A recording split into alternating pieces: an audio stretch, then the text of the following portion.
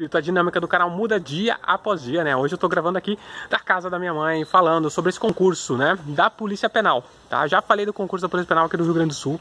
E agora eu quero falar com você da Polícia Penal do Distrito Federal. Banca escolhida. Agora, após a vinheta.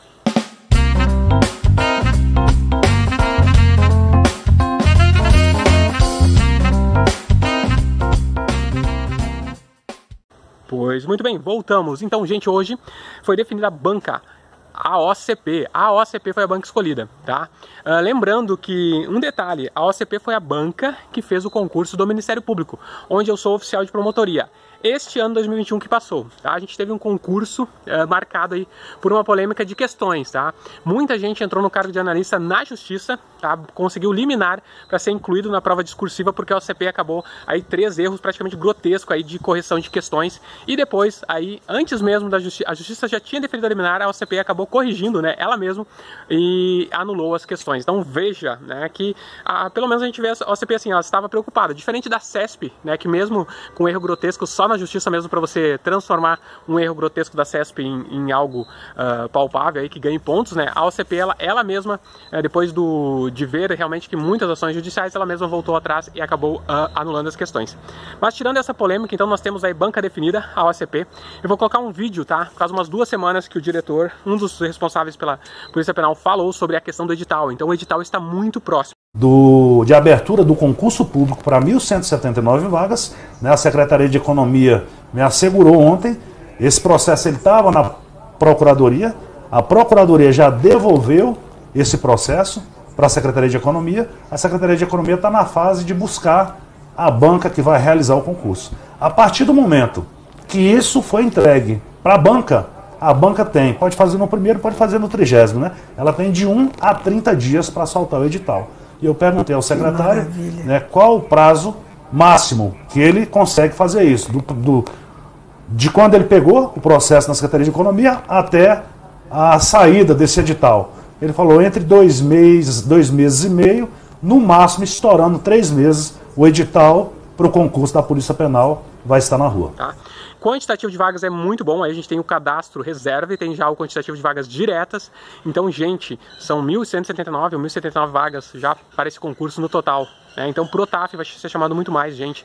Então, é um concurso de polícia penal. Se você comparar com o Rio Grande do Sul, que eu acho que também vai chamar na faixa de 1.000, 1.500, mas aqui nós já temos 1.500 na na, na, na, lei, ou seja, se você passar entre 1.500, mas já 1.070, 1.179, 1.079, tá?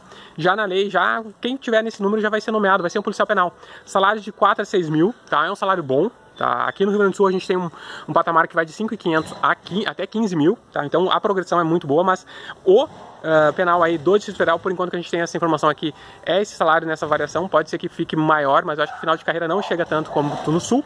Então se você está estudando para o Rio Grande do Sul, força nesse concurso, depois você foca. Então você vai fazer a prova agora uh, do concurso da Polícia Penal, tá? do Rio Grande do Sul.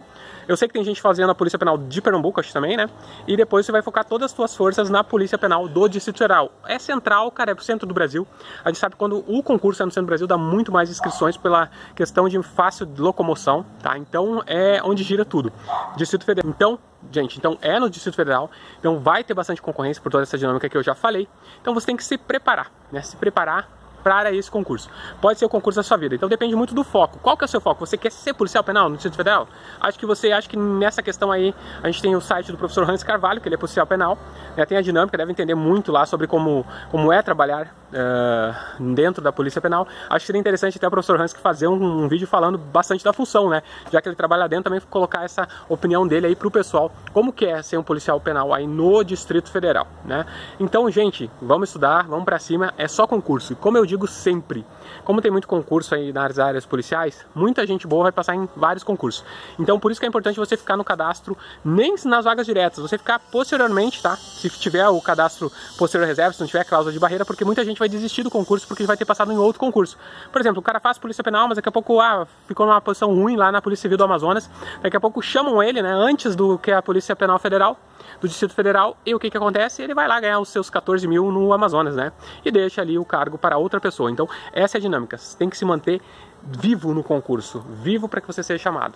Essa é a dica no extremo. Então vamos para cima, vamos estudar foco, força, determinação. E parabéns para muitas pessoas que foram bem na Polícia eh, Militar do Amazonas. Hein? Um cara tirou uma nota super alta aí no concurso é, inscrito do canal aqui, o Fernando, né? Então, Fernando, torcendo por ti aí para que você seja um policial militar no Amazonas e que você vá bem na Polícia Civil também. Quem sabe você vai deixar vaga para alguém também.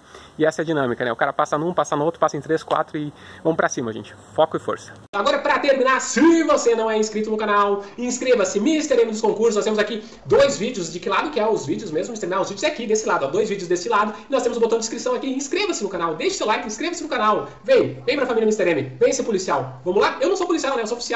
Mas eu sou amigo aí de todos que fazem concursos policiais, muitos amigos na polícia, em todas as polícias, ok? Grande abraço, Deus no controle, sempre.